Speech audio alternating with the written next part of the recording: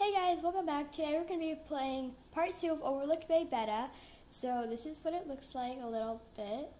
And so as soon as you join, it's going to have the loading screen just like this. And it might take a minute because so many people are playing right now, but...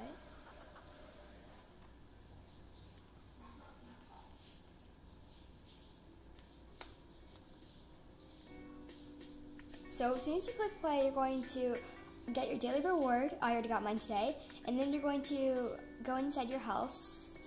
Um, this is mine right now because I haven't really got much time to decorate it.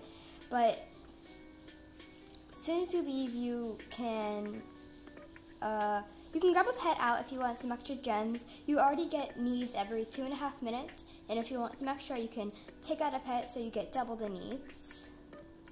And if you want, you can just teleport to the city in case you're driving because it's a lot faster. And in case you get lost, as soon as you teleport, there's going to be a little map right here of the Overlook Bay.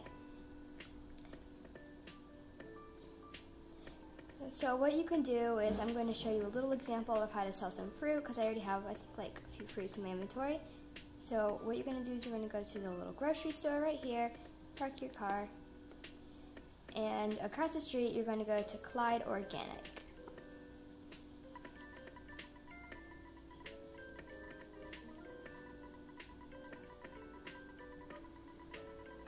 So you can go to the shop which um, it just gives you fruit trees that you can plant in your backyard for some extra cash, but I'm here to sell some food.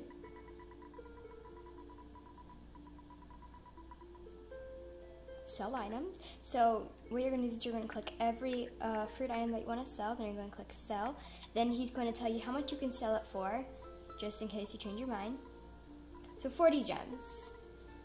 Confirm. So that's another easy way to get money. Um, um, I'll show you how you can get the fruits. Just restart my car. So how to get the fruits is, I need to read. Yeah. So it's super easy. All you're going to do is you're going to find a pink tree, like this one right over here, and you're going to get out of the car and you're going to walk up to it.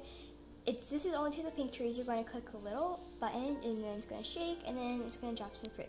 Every fruit has a different value of money. And along the seashore, there's going to be some seashells. So you can go ahead and pick those up for some extra cash, and then I believe you can sell them at the lighthouse, but it only though there's a little uh, kind of like a little basement door, but it only opens up at nighttime in Overlook Bay. So I'll go show you guys, but I gotta be quick. It's just right here. It has a little ramp for you.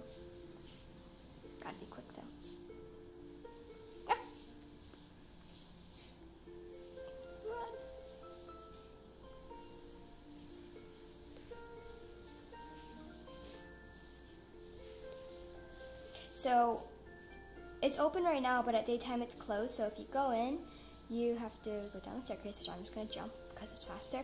There's to be this guy, Doc McFly, and you can sell some stuff. I don't think I have anything to sell right now though, but you can also buy some shovels from him. He sells some shovels.